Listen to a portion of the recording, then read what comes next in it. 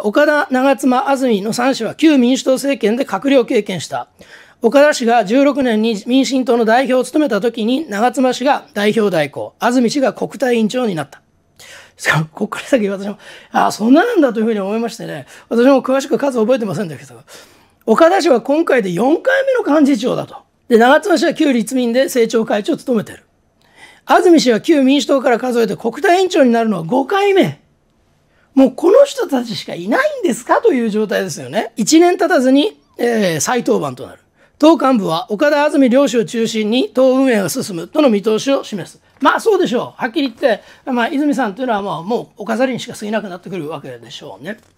で、世代交代の色は薄い。薄いどころの騒ぎじゃないだろうって世代交代、いや、むしろしただろうって世代交代を逆にね、上の方向に世代交代したんじゃないの？というふうに見えますけどね。だからね、もう立憲民主党ってどういう状態になってるかっていうとですね、もうスパイラル状態、悪い意味でのスパイラルがね、なってるわけですよ。螺旋階段ですね。で、どういうことかって言ったら、もう下に回っていくわけですよ。どんどんどんどんどんどん。どういうことかって言ったら、えもう政党が弱い。政党が弱いから、まともな人が立候補してくれない。まともな立候補する人がいないから魅力がなくなる。魅力がなくなるから政党はますます弱くなる。人は来なくなる。っていう、こういうずっと順繰りになってるんですよね。これね、どうかね、あの、逆向きに変えていかなくちゃね、いけないわけですよ。統制がね、勢いがついた。だからいい人が来るっていうね。どっかのタイミングで変えなくちゃいけないんだけど、もうなんか民主党系でね、あ選挙出てる人とか見てもね、なんか、ああ、この人には期待できるなっていうような人いなくてね、なんかこの人最悪の活動が崩れか？みたいなね、そんなのばっかりが出てるような思いますよね。あと、なんか、マスコミがなんか立憲民主党をいじめるからいけないんだとかね、一人で被害者意識みたいなの持っていたりね、いやいや、それで言ったら自民党なんかもっととてつもなく批判されてるじゃない。それでも自民党はそれまで支持されてるのどういうことっていうふうな話になってきますよね。岡田氏は02年、2002年ですね。2002年っていうとですね、私が大学に入った年ですよ、これ。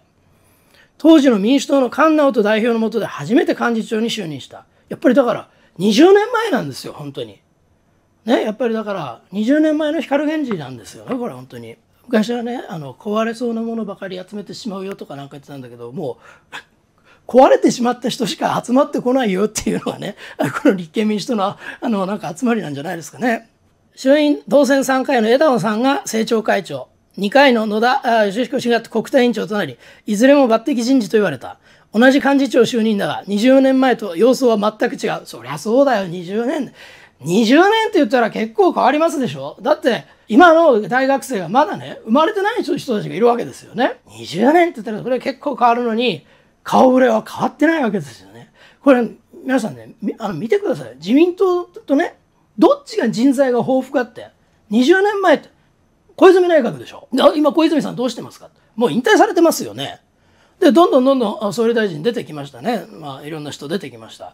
で、安倍総理も出てきたし、あなたとは違うんですっていう福田さんとかですね、ね、麻生さんとか、いろいろ出てきましたよね。で、それから、あの、総裁選、この間の総裁選でも出た通り、良くも悪くもですね、えー、その、いろんな人がチャレンジできるような状態になってる。ところが、一方、立憲民主党は、20年前のアイドルに頼るしかないというね、もう、いや、昔あの時売れてたじゃないみたいな感じでね、頼むみたいな感じでやってもね、もう無理だよっていうね、そんな感じがしますね。国会運営は従来の体制と比べると、より岸田政権との対決型に傾きそうだと。えー、岡田氏は26日の記者会見できちんとした批判は野党の使命と語ったと。じゃあ何をね、やっていくのかって言ったらですね、テーマごとに方向性が一致する政党と組んでいくと主張した。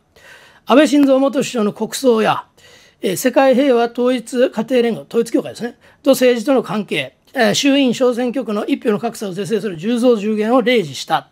もう国葬はね、決まってるんですよ、閣議決定でね。で、これ今更ね、大体ね、私ね、本当おかしいと思うんですけどね、国葬をやるからって全員がね強制的にそこに参加させられてね北朝鮮みたいにねなんか涙流してないやつがねなんか粛清されるとかねそういうのだったらねそれは私も反対ですよ。だけどねこれだけ功績の大きかった人が民主主義のね根幹である選挙の最中に殺されてしまったと。で世界中の人たちがね世界中の要人たちがねこのね死を悼みたいと思ってる。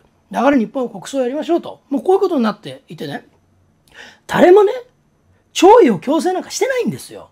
だから行きたくなければ行かなければいいんですよ。テレビを見たくなければ見ないでいいんですよ。なのに人が人を弔ってるのを見ること自体がけしからんと。あんたたちは共産主義者かというふうに思いますね。あのなんだと。もう死んでしまった死体になんか魂なんかないんだとかね。あ共産主義者かと。本当に思うぐらいね、なんか不気味ですね。私はね、どんな人であってもね例えばお葬式やってるうちにね「えー、おい葬式やめろ!」とかね言ってくる人いたら変でしょそれ。これ同じことだと思いますね。なんか葬式やるなんてとんでもない！とかね。いやあなたたちがとんでもないと思いますよと。で次にはですね泉氏は役員人事に合わせてネクストキャビネットっていうのを設けると発表した。これありましたね。これ確かに鳩山幸夫さんがなんかなんか使い言ってて確かね、えーと、イギリスでねシャドウキャビネットっていうのがあってね。でそれからネクストキャビネットなんて言ってるのやってますけど。まあほとんど実効性がないですね。将来の閣僚候補を示すということ。で、実際の閣僚と、このネクストキャビネットの閣僚候補との間で、国会論戦を通じて政権運営の能力を示す狙いがあるということなんですが、え旧民主党政権の発足時に、ネクストキャビネットの役職のまま入閣した閣僚が少なかった。もう意味ないじゃんっていう話ですよね。つまり、次のね、ネクストになったらね、じゃあ岩田内閣になったらこういう布陣でいきますと。ということを皆さんにお示しして、その閣僚ごとにぶつけていくわけです。じゃあ、お前はここ、ね、防衛大臣になるとしたら、じゃあ防衛ね、今の防衛大臣と論戦してこいと。で、閣僚人事をややっとくわけですよ。で、一切実際に民主党が政権取ったと思って、じゃあこのネクストキャビネットがそのまま移るのかなというふうに思ったら、ほとんどそこから入ってないって。何のためにやってたのっていうふうに言われますよね。それは当たり前だと思いますね。えー、自民党の茂木幹事長は26日、立憲民主党の執行部人事について、泉氏が就任時に掲げた提案型野党を堅持するか変えるのかを見たいと指摘した。まあ、おっしゃる通りなんじゃないですかね。提案型野党ってね、これね、提案型野党っていうのはね、まあ、良くもあり悪くもあるんですよね。ただ、あの私がね、批判もね、野党の役割で、それはいいと思うんですけどね、もっとレベルが低いと思うんですよ。スキャンダル追及これ批判じゃないんですよね。つまり、この政策のここおかしいっていうのはまだ批判かもしれないけど、スキャンダルをこう探してきてね、しかもどっかの週刊誌が探してきたのを、国会でこれどうなってんだって聞くってね、これ、あなたたちの意味ってあるの？っていうふうに思われても仕方ないと思うんですよ。そんなことやってるのまた悪口ばっかり言ってるっていうふうに言われる。じゃあ提案します。じゃあ何を提案するのという話でね。私はね、あの、でも、立憲民主党、の方々にですね、提案型政治学者としてですね、提案したいです。一刻も早い回答をというふうに思いますね。